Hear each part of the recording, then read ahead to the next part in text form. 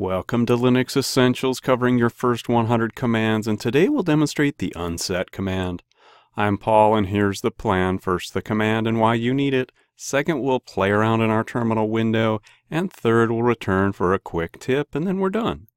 Okay, we know Linux is the backbone of the internet and is used by adapters and tinkerers. At FactorPad we use Linux for fun stuff like making environments. So Linux is great, but it requires that you memorize commands just like words in a language. And our 49th word or command to memorize is unset from our category system. Unset allows you to remove variables or functions. Recall from printenv, export, and set we've been working with variables?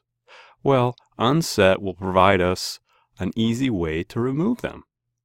But before we start, it helps to think of commands as mini programs, and most follow this structure command options and arguments. The unset command has two options, and the argument is the variable name. Unlike most commands, help is not available with double dash because it's a shell built in, just like export and set. So on most systems, documentation hides in the manual page for bash. The dash V option, the default, removes variables, and dash F is for functions. So why is unset an important command? Well, in unset, it offers a simple way to remove shell and environment variables plus functions as well.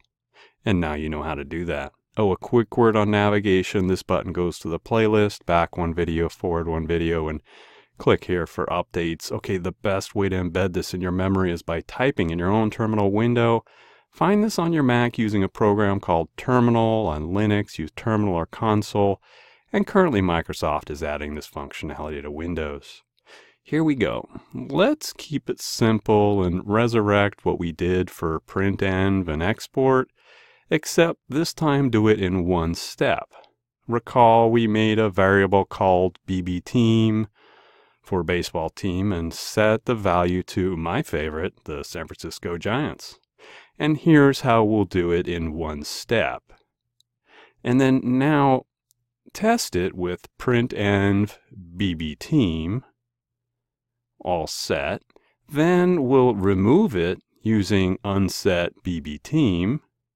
And last, test it with another printenv bbteam.